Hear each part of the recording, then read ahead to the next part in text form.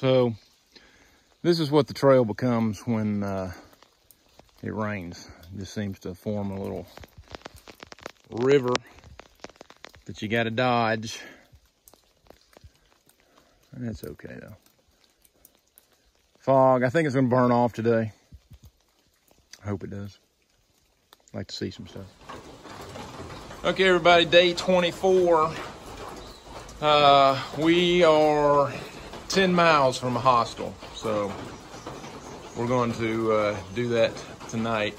Wash some clothes, um, get a hot meal, hopefully, recharge the batteries. Yesterday, misery. Came in this uh, place last night and there was, uh, uh, we were just cold, wet, couldn't start a fire. It's raining still today, so probably more of that. I do have a pair of dry socks on, but give it 20 minutes, they'll be wet. Um, got some good sleep because I didn't sleep the night before. I just, my body just crashed. Um, but yeah, 10 miles in the rain. I can do it. Uh, day 24. Looking forward to coming out for a bit. Um, wind's not whipping like it was yesterday, but I'm down in a hole a little bit, so who knows what'll happen. Um, that's really it. Had a couple Snicker bars this morning. I'm ready to go, packed up. Let's go see what happens out there.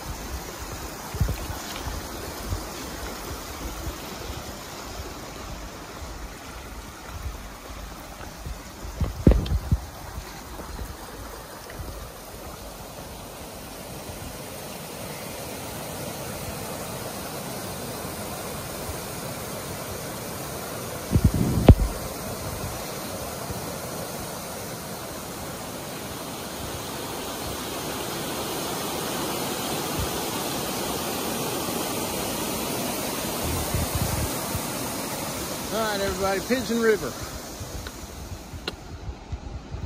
I'm crossing it.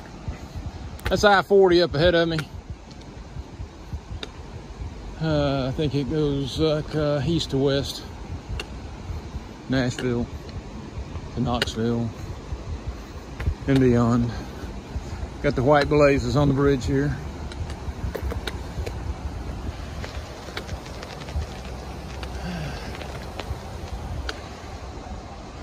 Seen a couple of trucks go by with kayaks on them, so I imagine it's a good place.